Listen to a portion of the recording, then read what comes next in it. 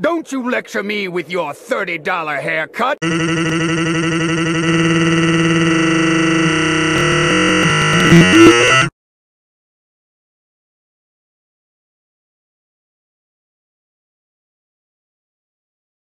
Don't you lecture me with your $30 haircut.